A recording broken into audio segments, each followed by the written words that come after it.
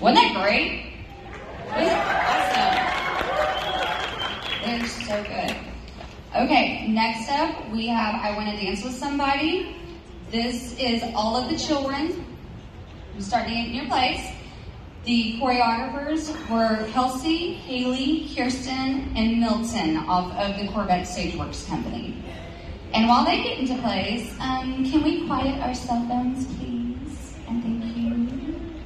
First, Jane. How dare y'all make a mistake?